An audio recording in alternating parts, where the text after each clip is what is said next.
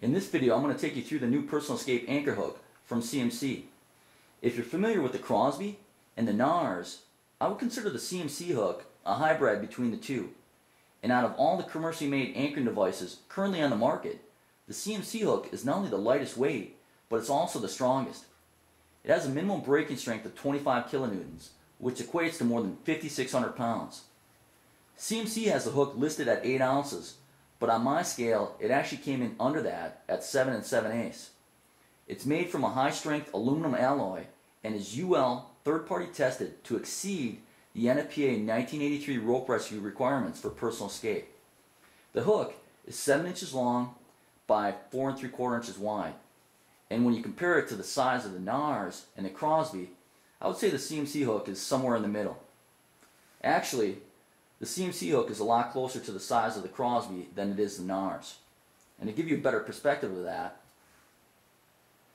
this is a CMC hook on top of the NARS and the Crosby on top of the CMC. Beyond the overall dimensions, another measurement that's important to be aware of is the distance from the spine of the hook to the point. On the CMC, this width is 3 inches, which is 3 eighths of an inch more than the NARS and a full 3 quarters of an inch greater than the Crosby. This increased width allows the point of the hook to get around the window framework so it can bite into the lath and plaster or sheetrock, giving the hook a better grab. Along with this, if the hook would shift, it can catch the lip of the framework, preventing the hook from completely sliding out of position. Versus when you look at the Crosby, it doesn't have the width to get around the framework and the point ends up being right on the edge. Taking a look at some of the other features of the CMC hook, at the base you have your captive eye. This is where you would attach your rope or webbing. You'll notice underneath the captive eye is flat stock. So when you tie your knot, it seats up against the base of the hook, preventing the rope or webbing from rotating out of position. Here you have the handle, and the handle simply allows additional versatility during anchoring.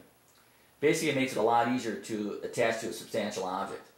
I'll also use a handle for attaching an accessory carabiner for firefighter and civilian rescue applications, which I'll show you later. When you look at the overall versatility, strength, and weight of the CMC hook, it's pretty hard to beat.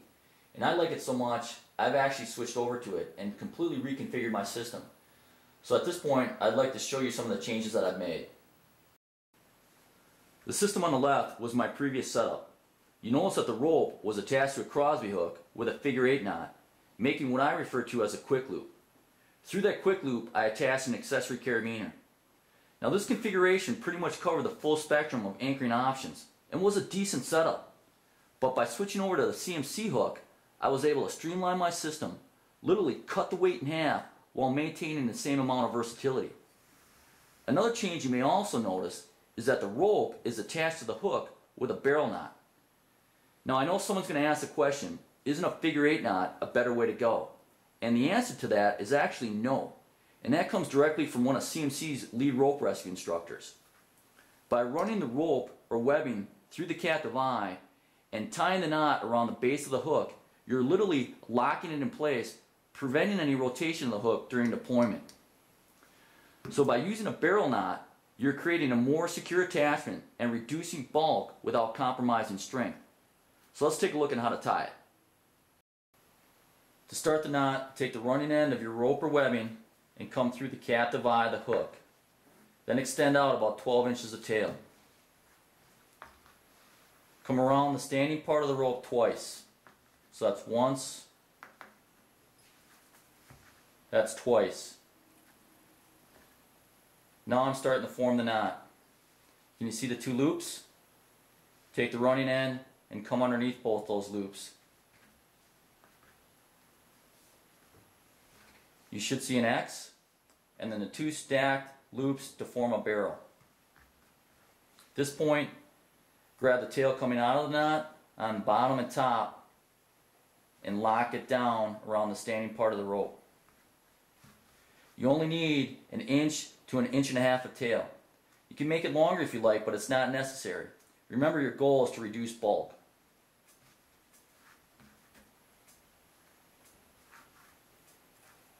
When you get the knot where you want it, grab the standing part and the knot and draw it into the base of the hook. At this point, I'd recommend that you hang a piece of webbing from an anchor, hang your hook from that webbing, and sit in your system and load it. This will further lock the knot down around the base of the hook. Here's what you're looking for.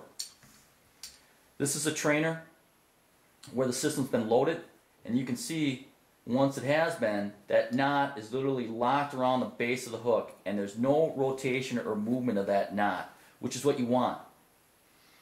Now you may be questioning that little bit of tail that's coming out but you just have to trust it. This system has well over 100 deployments and that tail hasn't slipped at all. And to free this knot, you wouldn't be able to untie it. You literally have to cut it off the hook. So get your knot dressed out, hang your system, protect the hook, load it, and really get that knot tight around the base of the hook and you'll be good to go.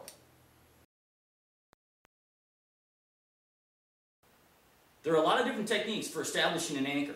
I'm going to take you through three of the main options. The first is attaching to a substantial object, something that will easily support your body weight, and that's ideally close to your exit point. Now, as long as your system is attached properly, this is one of your better options because you don't have to worry about the anchor failing or slipping out of position.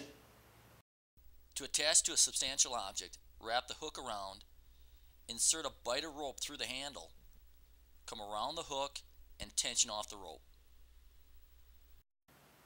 If a substantial object isn't immediately available, another method is a tool-in-the-wall technique.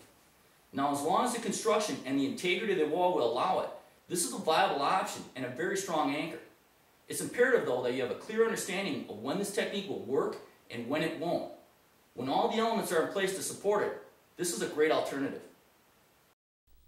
Take a bite of rope through the handle of the hook, then place a tool through this loop and insert it into the wall 6 inches to the side of the window and 12 to 18 inches above the sill.